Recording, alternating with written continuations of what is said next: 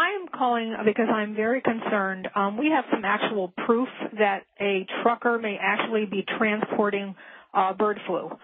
Um, we, um, we have a federal agent who is aware, who has taken the documents to many agencies, including New York State Police, the FBI in many, many states, um, infection control disease. And what um, this trucker reported was that he works for Department of Homeland Security. Um, he's a Spanish man who um, is trucking an independent truck. He goes down to the corner of Broadway and Clinton in Albany, New York at the Department of Homeland Security facility every single evening for loads. He said there are Raymour and Flanagan's and JB Hunt trucks ahead of him loading, that he has taken loads from a silo above Glens Falls. His truck actually was lowered into the ground into a silo. When the truck came out of the ground, he was given a shot in his arm to told to protect his family. He transported um, iced refrigerated loads to the Pentagon, Baltimore, um, Maryland, uh, Tucson, Arizona. Um, he was told that if a, um, he he told told the federal investigator how he's getting paid through the Bank of mm. America with a number. He walks up to a window. He he presents his number. He is taken to a back room and paid in cash. He showed the federal agent a hundred thousand dollars worth of receipts because he gets five thousand dollars per load, and he's done as Whoa. many as three loads per day. Okay, now wait. Let me just stop you right here because this is amazing information to say the least. Now, perhaps he is transporting vaccines refrigerated vaccines. Is that a possibility? Anything that has to be iced either has to be an antigen or an antibody. That's all we know. But we know that they gave him a shot to transport it, that they told him it was to protect his family, that it is obviously something that has to be kept refrigerated. On the one, he did one load for a complete week to Tucson, Arizona and back, but the amount of money that they're paying him under the table through Bank of America, only loading at night, they call him and they ask him to come down to meetings at Department of Homeland Security at 3 o'clock in the morning. They'll ask him how he's doing and send him back home and say, fine, you're okay, go back home. He has other truckers. He knows of a trucker with a 53 foot bed unit that took a, a, a missile type. He was able to see his load, and that was taken out to Phoenix, Arizona. He was given $18,000 to truck that load two times. Um, it was eight, 80 tons, and he blew his brakes. The Department of Homeland Security took care of it. Um, he also has been to two silos. He's been to many cities with his loads. He's continuously working for Department of Homeland Security, and they are reloading, lo- relocating him since the since the federal agents and the state police were notified. We were notified that he is being relocated to Tucson, Arizona, at a base 15 miles below Tucson. And okay, now his, let me just ask you, Mary, how did you come upon this information? Um, I can't. I can't say. I, mean, I just what I'm saying already has probably put me in danger. But it is. It is a testimony that many people are aware of, and they are doing nothing about it. And the um, the uh, some of the high ups in uh, New York State Police were quoted as saying, "It's bigger than both of us. We're not touching it with a 10 foot pole." Oh my goodness! Wow. And we we were told that there were retired New York State troopers that are getting paid two and three times their salary. That are the tail cars. They're they're they're actually um, in vans in back of these Raymour and Flanagan trucks and these transports, and they are within a mile behind them. So if you ever go down the New York State Thruway and look at these double Raymour and Flanagan trucks that are going west towards Syracuse, which is a CIA front, what they are doing is they have those those tail cars in the back and they are, and from what I understand, those are retired state troopers that are escorting those loads. Okay, and stay right there because we've got a four-minute break coming at us. She's given us a lot of facts supporting this. Mary, what do you think all of this means? He actually gave testimony to the names of the people that are running the show. There's a retired three-star uh, African American general that's in Albany. That's that's there late at night when he does his pickups. There's another guy named Fatah who is Muslim. There are many white suits.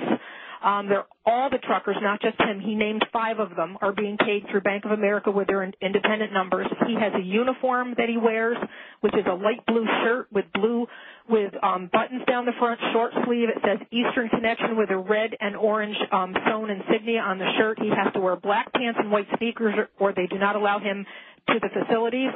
He is not allowed to uh, stop the truck once they start it. Uh, to urinate, they have to either go in urinals or pee in the truck.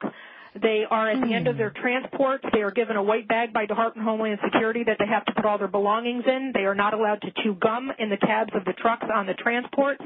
They are escorted when he's been to the Pentagon. There have been people with 45s around their waist in plain clothes that have met the trucks, and also on the slips that he gets paid. Um, it, his slips say 30 Karner Road, Albany, New York, to 11 Wards Lane, Menands, New York, and he stated that he has need, been to neither of those locations, but every single one of his trucking slips for which he gets paid says those addresses. Okay, say that again. 30?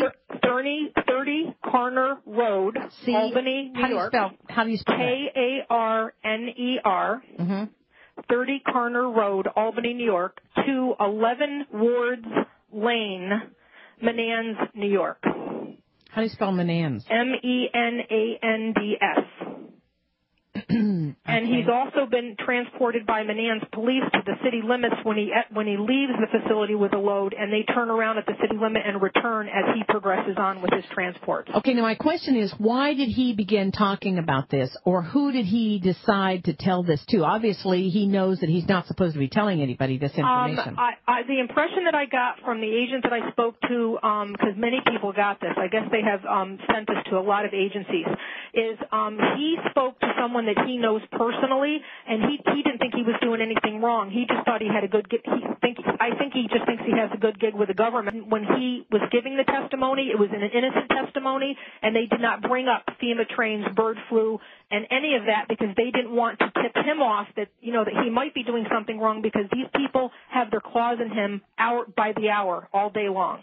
Okay. Um, this man said that the government told them that if he's good to them, they'll be good to him, and that they were going to take him to a place called Sandy Point in Maryland on the water for government people to where it's safe when this was over, and then they have since sent him now to Tucson, Arizona with his family to relocate him on base housing, and all he has to pay for is food because this investigator has spoken to him three times.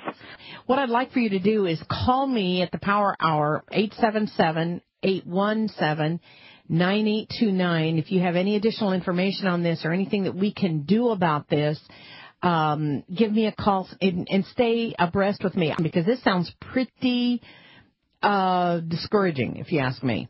Not just it's not just that. Um, he's had lead cars that that like he'll tell him they'll tell him where he's got to go, and he'll be going from point A to point B, and somebody will interrupt the trip and then divert him down a road.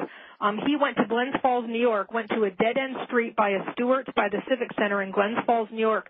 They opened a gate and he drove six miles on a gravel driveway to an underground silo. When he when the truck came out of the silo after he waited with the other truckers for three hours while they loaded in secret, the people who were were who appeared with the truck when the truck was coming out of the ground had Tyvek suits, the mask, the gloves, and the, all the works on. Um, he's also transported um, at the 109th Air Guard at Stratton Air Force Base. He did do 90 boxes of clear plastic white fluid. Um, he did see that load. Rarely does he see his loads, but apparently he loaded that at the uh, one, uh, C-130 at the 109th Air Guard, and um, he's done a lot of a lot of loads with these types of things. Um, you know, medical supplies, equipment, and but but specifically refrigerated to Tucson and to the Pentagon and to Baltimore. And he and I think I think that's it's up to no good. Um, along the New York State Thruway, there are miles and miles of car carriers that they've been adding to. There are has to be 30 miles of them right now sitting on the track since before Christmas that seem to be increasing in length. And my my are you, are you when the car carriers? Are you talking about on the road, off road? No, they're on the railroad tracks, pulled over to the side of the tracks on the on the on the spare on the spare tracks. Mm-hmm and they're actually car carriers. Um, and I think it's for dead bodies. I think it's it's pre-positioning. I do know um, a Pakistani diplomat who has recently left the Albany area, who I knew personally, who told me that America is no more, that he's leaving. He took a child out of a local school in the middle of the school year to leave. He he uh, is a player. He knows uh, a lot of very important people. I know for a fact, and he has left the area, has left the, the country. Um, so I do think that something's going on very sinister. No one will convince me of anything other than that. I've been watching this for eight months, trying to warn people, and there are many agencies that are aware, and they are just not willing to do anything about it. From what I see, I mean, I'm nobody. They might be doing something about it that I don't know, but they've been made aware of everything you're hearing. Thank you very much, Mary, for calling in from New York. I really do appreciate your doing this. Whoa. Oh, it gives me goosebumps.